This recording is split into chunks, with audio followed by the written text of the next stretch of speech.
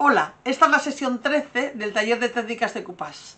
Vamos a seguir trabajando sobre el libro y hoy nos vamos a dedicar básicamente a aplicar pinturas. Como veis tengo aquí una paleta de pinturas al agua, son las pinturas decorativas que utilizamos normalmente en manualidades, pueden ser de la marca que quiera, este formato de pinturas.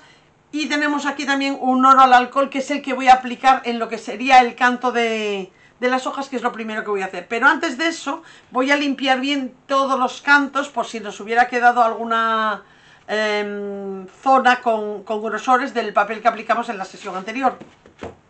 Con un cúter, con una lija, podemos quitar restos que pudieran sobrarnos. Aquí hay, por ejemplo, un poquito. Nada, arrancamos sin más.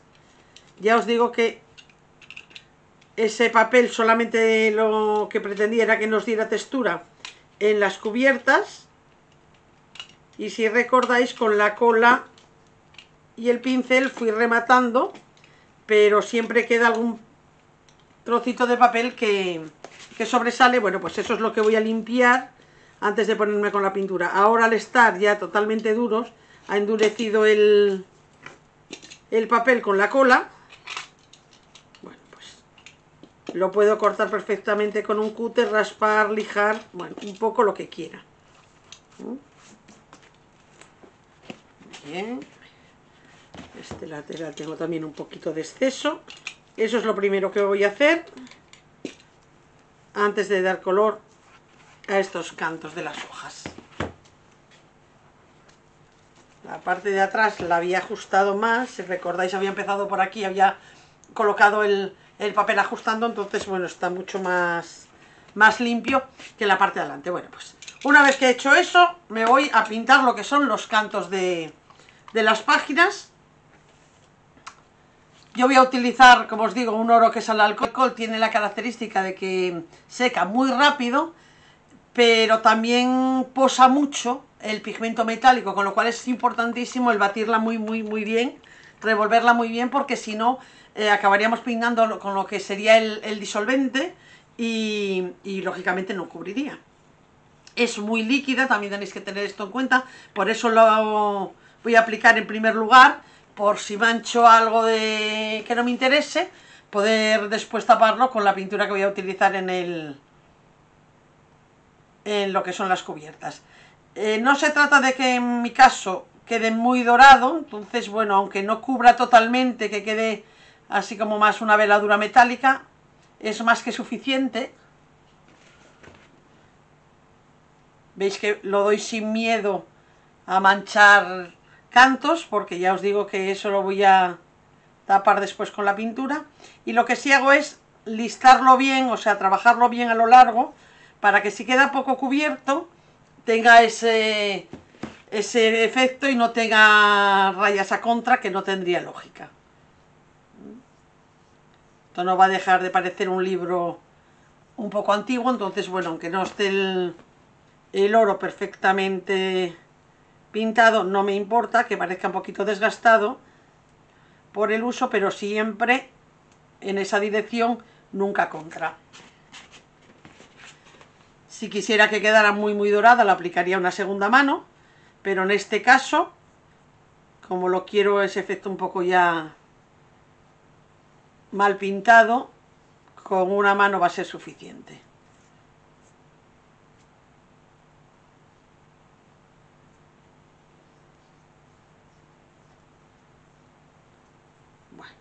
Peino bien. y compruebo si tiene suficiente para lo que yo pretendo. Esta pintura, como os comento, es al alcohol. Tenéis que tener en cuenta que si dais una segunda mano, con, con la segunda mano podríamos eh, retirar la primera, arrastrar la primera con el alcohol que contiene en la mezcla, con lo cual hay que darla mm, siempre con un pincel suave y, y como dándola por encima, no arrastrando, porque si no arrastraríais el, el primer paso. Bueno, está suficiente. Voy a pintar bien un poquito aquí el nacimiento de las hojas y listo. El pincel lo limpiamos con alcohol o con disolvente y después acabamos siempre con agua y jabón. Esperamos unos segundos y enseguida va a estar seco como para poder empezar a trabajar el resto del libro. Para trabajar el resto del libro tengo aquí, como veis, la paleta de colores que os comentaba antes. He puesto ahí un, surtido, posiblemente no, no, los utilice todos.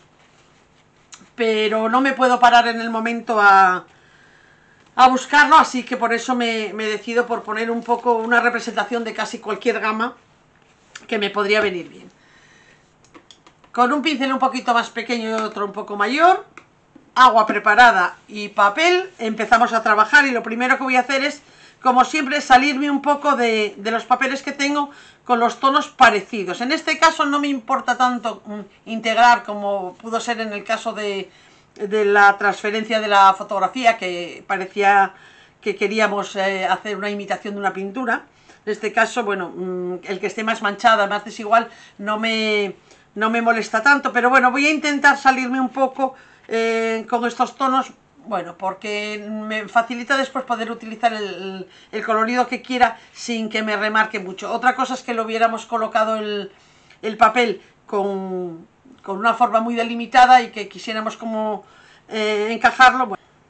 Visteis que en la sesión anterior os comentaba que hacía acumulaciones, por ejemplo, aquí alrededor del, del sello. Bueno, pues en este caso en concreto lo que no me interesa es agrandar el sello, puesto que lo que quiero es que quede muy remarcado. Aquí precisamente lo que voy a hacer es irme a un color de contraste, pero en el resto de la pieza voy a intentar salirme un poco de los colores. Voy a empezar con el tono este medio gris azulado, verdoso, bueno, es blanco, gotita de negro.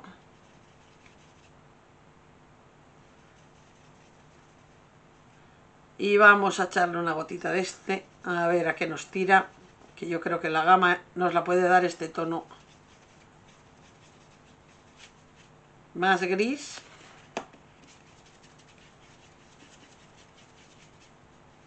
poco más amarillento a lo mejor ¿eh?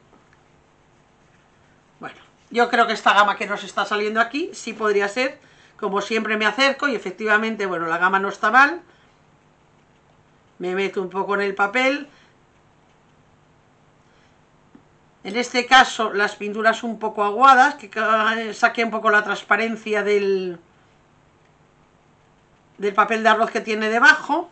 Y voy haciéndole ya manchas de mano.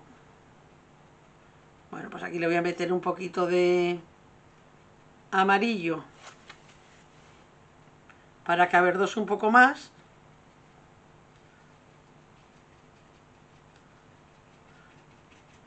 El que esté un poco aguado también nos ayuda a que se nos meta bien en la trama que ha hecho el, el papel al aplicarlo arrugado. Voy a meter un poquito de beige. Para dar distintos, dentro de la misma gama, dar distintos toques de color. y ahora con un poquito de agua voy a salirme desgastando el color. Bueno, por aquí arriba voy a azularla un poco más para que dé una gama un poco distinta.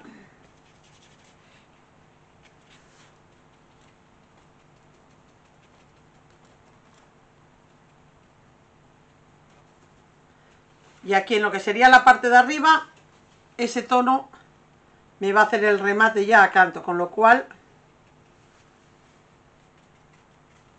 es lo que voy a hacer, rematar este canto interior a esta gama. Una vez que la tengo ahí voy con un pincel con el que pueda recortar bien, ajustar bien. Ya os comenté en alguna otra ocasión que para mí estos pinceles de pata de cabra me van muy bien para recortar son estos pinceles que tienen la forma como en bisel.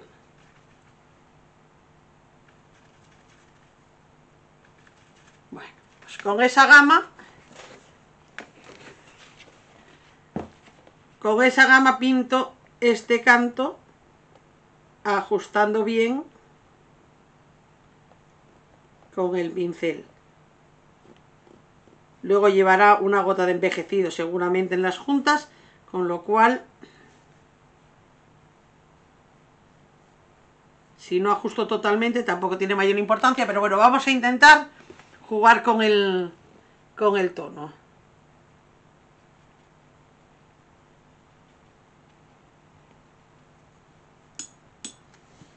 Con un poco de agua manchamos, incluso con el dedo. Le hago como una especie de veladura con agua manchada para que todo el papel coja un poco la gama que me interese y que quede en efecto un poco eso, de veladura. Vale. Nos vamos a esta esquina de arriba, que es la misma gama, pero mucho más clara. Pues me vengo mezclándole blanco al color que tenía y donde se juntan los dos colores muevo bien la pintura en ambas direcciones para que haya un tránsito de uno a otro sin que quede el efecto de una raya. Vale. Y en esta esquinita de aquí, si quisiera, podría meterle ya un punto de color. Se lo voy a hacer metiéndole un verde más verde, o sea, más vivo. ¿Vale? Es un poco excesivo, voy a echarle encima un poquito de marrón. Y con agua lo voy a ir integrando en el otro tono. De manera que, como siempre que hacemos una integración, el tránsito sea suave. En este caso ahí podríamos ponerle el tono que nos interesara. Bueno, pues como tengo ese verde bastante intenso, voy a venirme a la esquina donde eché el claro y voy a manchar un poquito suave. Con una esponja o con otro pincel quito el exceso si veo que, que no me interesa. Bueno, voy a darle el verde por este canto. He manchado un poquito el oro, después puedo rectificar tranquilamente, pero si no, sobre la marcha con un poco de agua voy limpiando. Al ser el alcohol el oro que le hemos dado a las hojas, no pasa nada porque encima le demos una pintura aguada. Bueno, nos vamos a ir bajando hacia, hacia lo que es el albarán que tiene un tono así como de pergamino antiguo. Bueno, y yo tengo aquí un tono pergamino menos envejecido, voy a echarle una gotita de, de este tono. Lo está sonrosando mucho, o sea, necesito averdosarlo. Los sonrosados los matamos con, con el verde, los amarronamos con el verde y voy a aclararlo, a ver.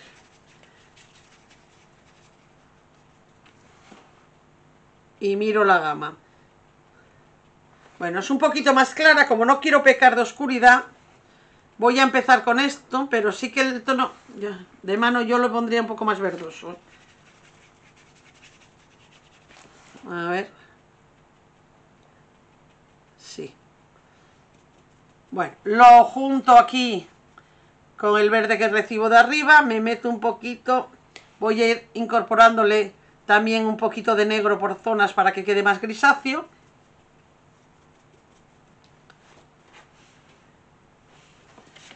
Y así voy jugando con el color. Mirar, aquí le he metido un poquito de amarillo y se va muy bien al tono más antiguo. Así que voy a manchar un poco también por aquí por el medio.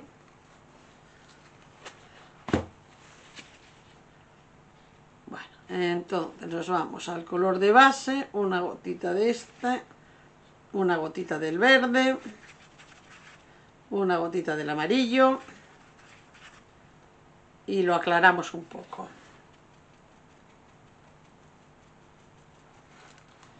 Voy a aguar aquí en el medio para que me quede una tonalidad un poco más clara y le voy a meter un poquito de negro para romper un poco, para que no sea todo tan igual. Como si tuviera casi una mancha de tinta. La escritura que tiene el albarán está en negro. Bueno, pues eso nos podría dar el efecto de, de una mancha de tinta.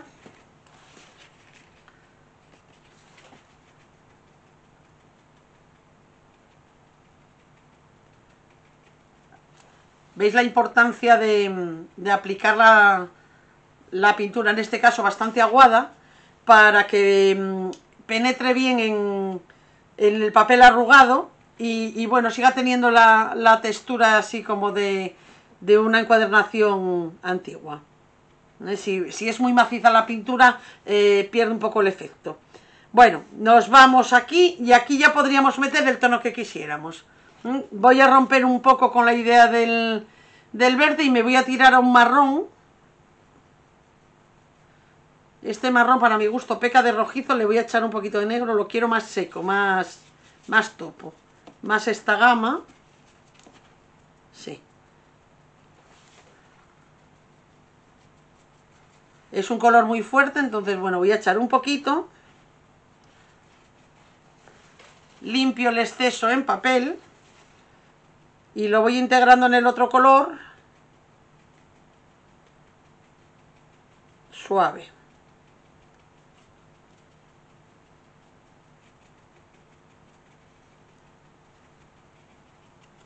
Bien. y aprovecho para hacer cantos. Aquí nos vamos al tono del albarán ese veis amarillento pergamino envejecido. Bueno un poco ahí lo fundo con el verde y según caminamos hacia abajo lo fundo con el marrón que acabo de, utilizar que es el que voy a usar también en este canto. No tiene por qué ser exacto puede ser un poquito más oscuro, un poco más claro lo que tengo es que integrarlo bien donde se junta con el color que ya tengo. Lo voy a alargar un poquito aquí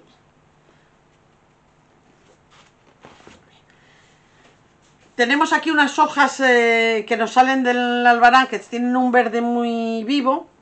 Quiero mm, que, parezcan montadas encima. Entonces, bueno, por debajo nos vendría el tono del, del pergamino. Voy a hacer otra gotita.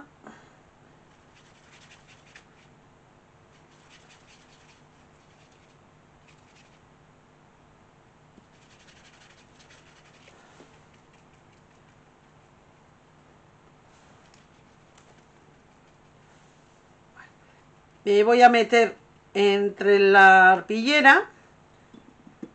Y aquí voy a coger bastante agua para meterme ahí entre la arpillera. Tiñe un poco la arpillera pero bueno no me la cubre totalmente. Si no quiero manchar la arpillera. Voy a darle una aguada de todas maneras a todo ello a esta gama para que los trozos que se ven dentro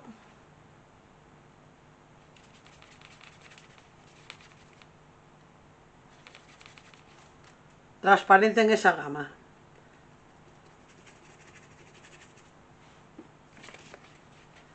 Tiene que estar bien aguada para que llegue al fondo.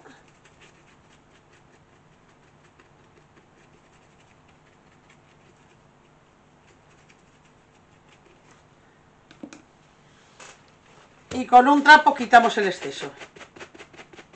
Que en la parte de arriba no se vea tanto la pintura pero sí que los huequitos blancos muy llamativos que había en el medio, podríamos haber esperado a pegar la arpillera a que esto estuviera pintado, pero bueno, no me, no me desagrada ese efecto como gastado que tiene ahora.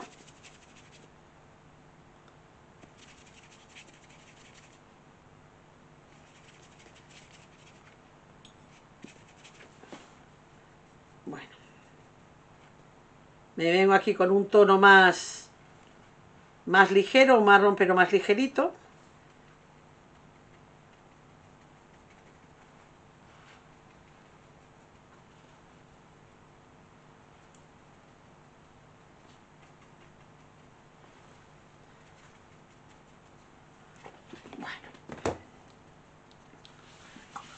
Limpio bien el pincel y vuelvo a sacar un poco la tonalidad del pergamino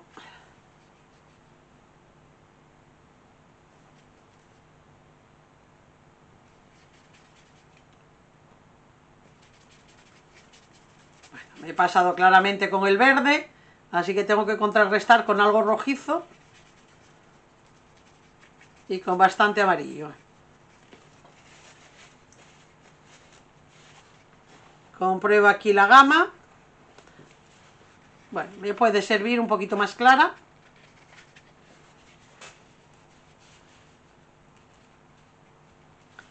Por esta zona parece que estuviera un poco más oscurecido el pergamino, así que le voy a incorporar un poquito del marrón.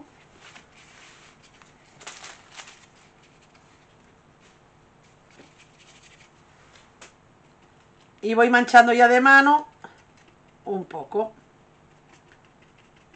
Como siempre, un poco aguada. Una vez que salgo de la, del papel que cubra más, ya.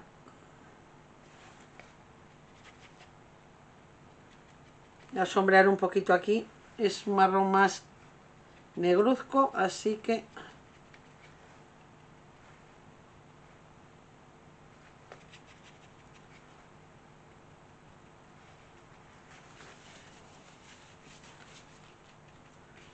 Bueno, y ahí con el dedo, con una esponja, con un pincel, con lo que queráis, os acercáis. Voy a remarcar, como os comentaba, lo que rodea al sello y yo creo que me voy a tirar al negro. Aquí sí que lo voy a aplicar casi como si fuera un pincel seco, marcando bien ya veis que no es negro puro, como tengo el pincel manchado me queda un gris oscuro, que es lo que pretendo. Vale. Venimos por este lado y hacemos lo mismo. Remarcamos ahí. Con el tono este que nos queda. Bien.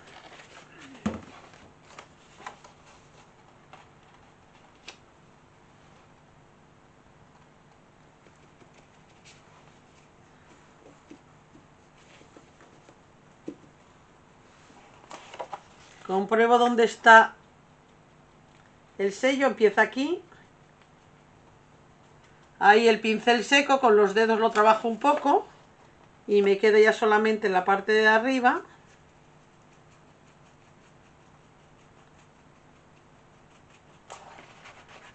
bien,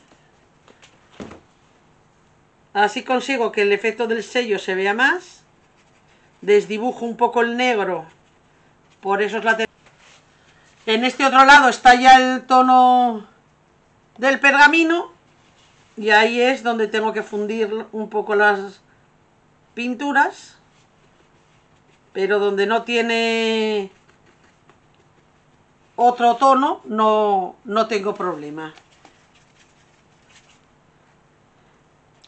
Voy a sombrear también con negro esta parte que entra en contacto con con la escritura voy a preparar un poco del tono que usamos en, en la zona de la escritura. Más amarillo. Para tener ahí preparado. Porque me voy a venir con el negro. Así un marrón muy negruzco, más que un negro. A remarcar esta zona. Aquí sí que tiene unos dibujos muy negros. Voy a meterle negro.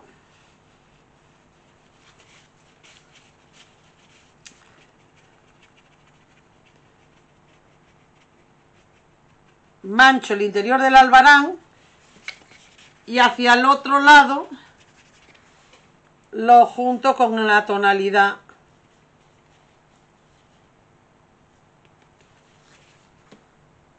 Necesito que tenga un poco más de de poder de cubrición está demasiado aguado así que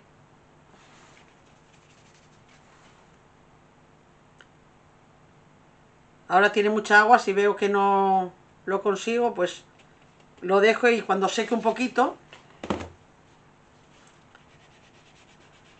desdibujo un poco aquí, con ese tono grisáceo que nos salió.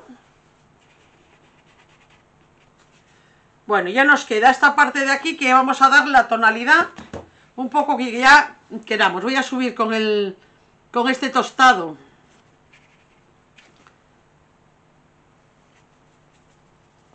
por aquí para dar un poco de viveza. Es todo bastante lúgubre las estas, bueno, estas integraciones son bastante lúgubres, pero pero parece que es lo que pide los papeles que estamos trabajando y utilizando. Un poco de claridad aquí, un poco más verdoso.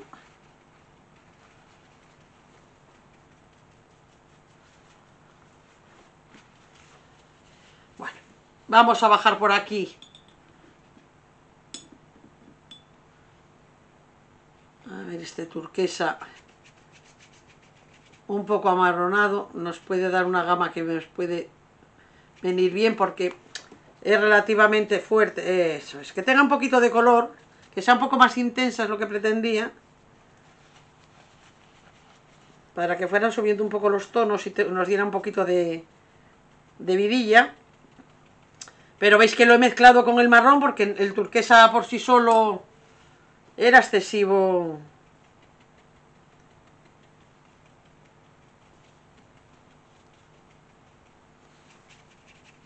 pero sí que la gama es un poquito más viva y nos puede aportar una gota de luz. Aquí le voy a mezclar en vez del marrón el ocre, que lo que hace es averdosarlo todavía más.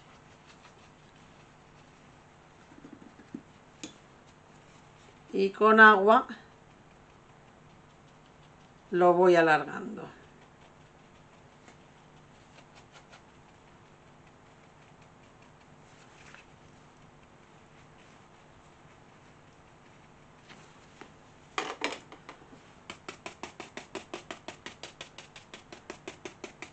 Esa integración es la que os digo que es importante. Cuando hay mucho diferencia de tono, es muy importante integrar. Y si no podemos solamente con el efecto del agua, tenemos que irnos a, ayudarnos de una esponja, de un pincel.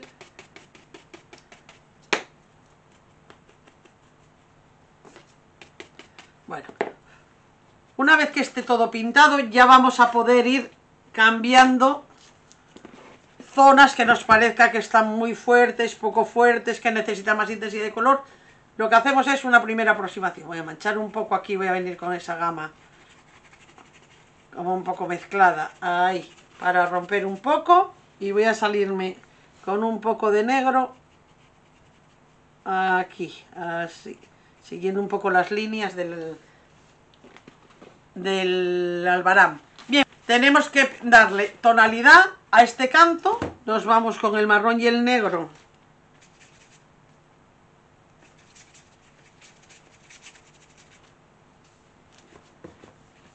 A esta zona que, que tiene esa gama.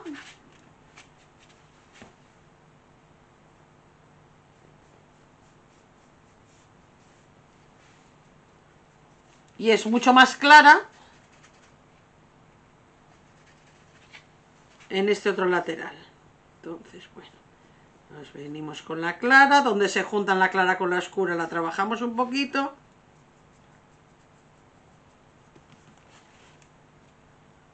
Muy bien. Vale. Miramos de canto que efectivamente tengamos más o menos las gamas. Vale, perfecto. Bien, nos vamos con el canto. Bien, me ha gustado la opción del, del turquesa, así que voy a mezclar el turquesa con el marrón y voy a hacerle pues como un, voy a atravesar como en esta dirección ¿eh? como, como cubriendo así en esa dirección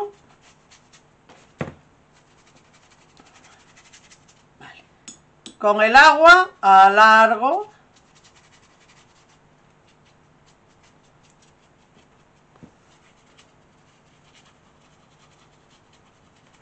Me vengo a este lateral.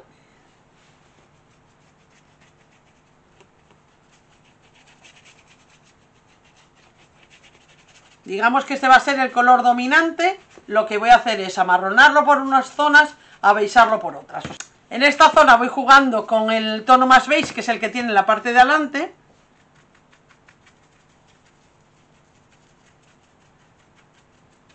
y acercándome hacia el turquesado haciendo un paso suave, la mezcla con ese eh, tono más amarillento, lo que me da es una gama, pues un verde más... menos azulado, lógicamente. Y veis que poco cubierto. Bien. Vamos a salir de la parte de arriba que tenemos este tono que es más grisáceo, entonces lo que voy a hacer es preparar la gama grisácea que estaba usando aquí arriba, que viene a ser un poco esta.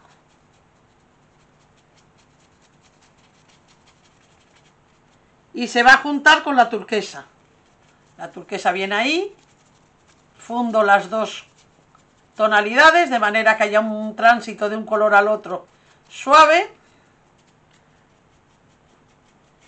Y aquí hacia la cubierta delantera voy mezclando. Bueno, bien. Esta tonalidad se la saco por aquí arriba.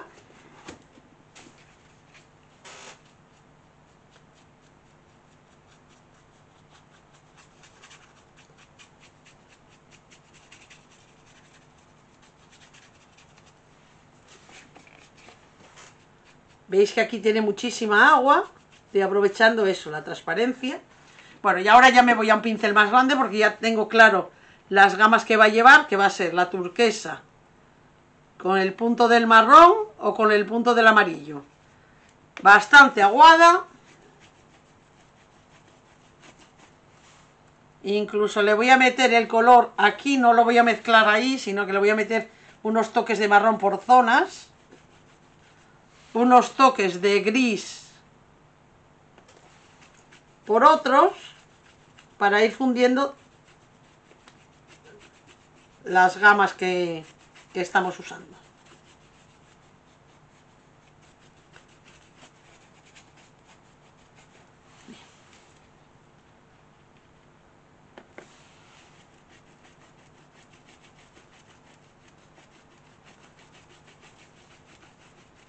En esta zona he vuelto a meter un punto de amarillo para que venga esta gama, para que no sea todo tan, tan turquesa.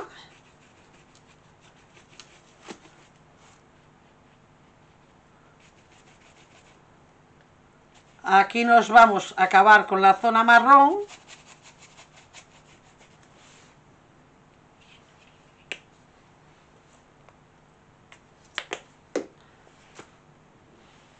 Y voy a potenciar el turquesa aquí en esta junta. Quito el exceso y lo integro bien en los tonos de al lado.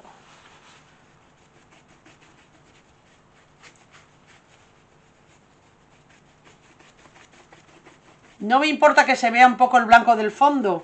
De hecho luego le daremos un pincel seco para, para mancharlo más. Voy a romper un poco aquí que está todo como muy igual voy a venirme con la zona un poco más verdosa aquí, incluso con una gota de amarillo.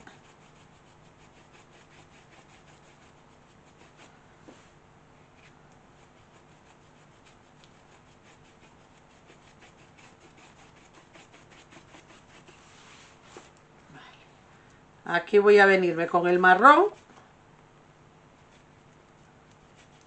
a integrarlo ahí.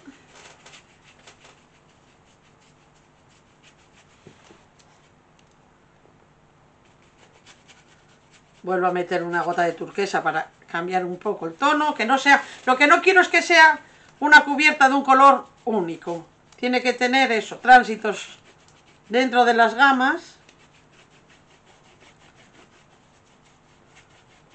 bueno, y nos vamos a esta zona a meterle bastante ocre,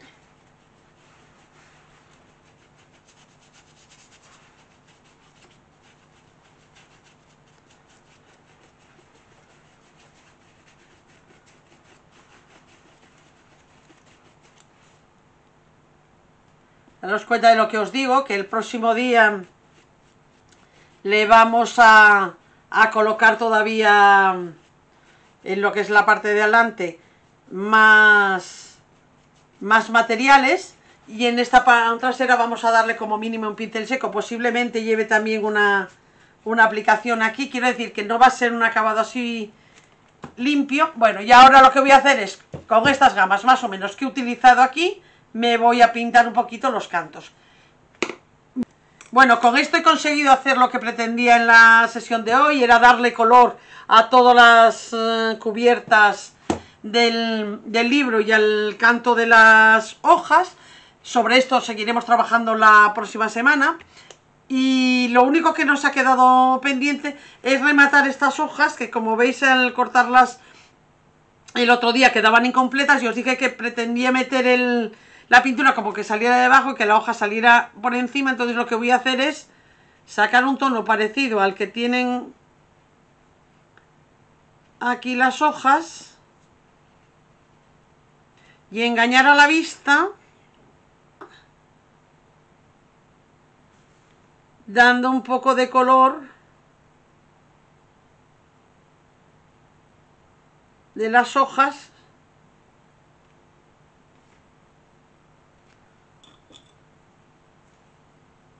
para que tenga esa sensación de, de tener por encima sobrepuestas las, las hojas. Bueno, pues con esto dejamos el trabajo por hoy. Como os comento siempre, cualquier duda que os surja, me la podéis ir dejando en el campus, en el foro, y yo diariamente voy a intentar ir contestando para que podáis ir avanzando en vuestros trabajos y si no el jueves en clase solventamos cualquier duda. Buena semana y un saludo.